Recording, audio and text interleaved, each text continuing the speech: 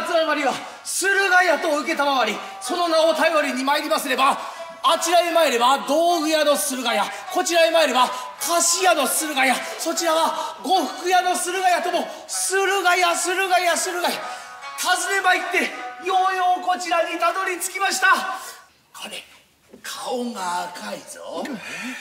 やはり猿じゃ猿じゃ山猿じゃ。それができずばお国にとっても恥たらしご主君に対しても不忠者となろうぞ。それじゃと申して。あの子だ。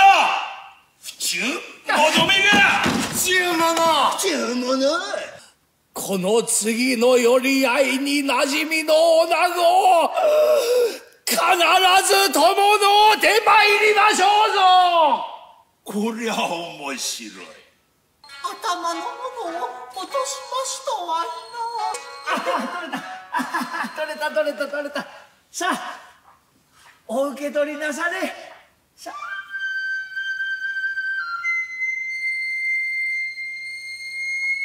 まさか。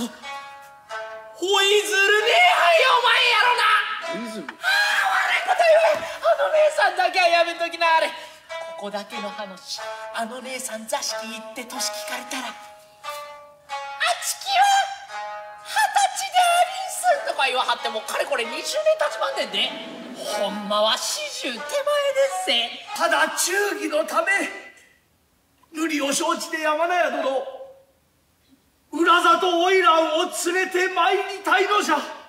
これは無理というもんでございますよ。え えー、旦那なんでですね。お前は黙っておいで。やそやかって旦那。でまあ黙れというにそれはまたなぜにそもそもカチコチの石頭あの野暮天に馴染みの女子など言おうはずはあるまい馴染みの女がいるというのは嘘か？偽りか？いやそれは偽りを申したのじゃ。ならば両手をついて私は嘘をつきました。偽りを申しましたと詫びなされ。お待ちどうであり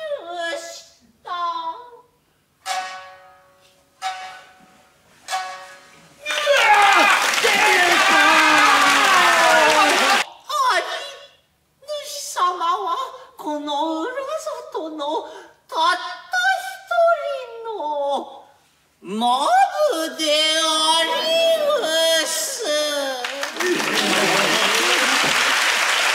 誠にかたじけなく今日はその礼に参上いたした。いやいやそのお気遣いはご無用でございます。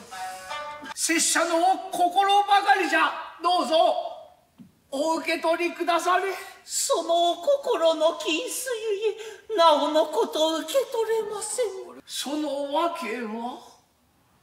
今その金子を受け取ってはやっぱり好みは金次第。売り物買い物の女郎道具となり下がる。それではおらの恋心真心までが水の泡。実はあなたに惚れたずら。それはどういうことだい色になってくださんせ。まことの色。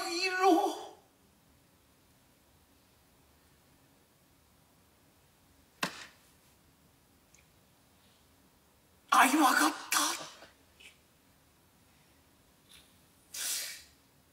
何色じゃ？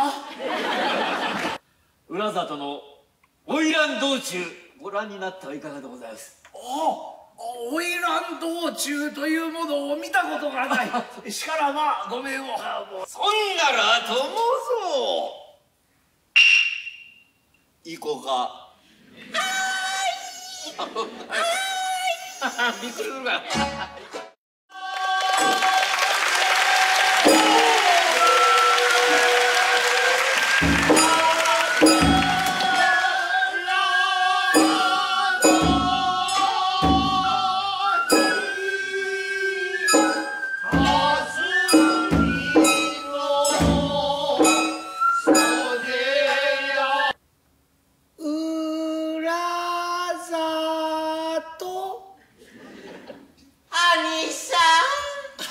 え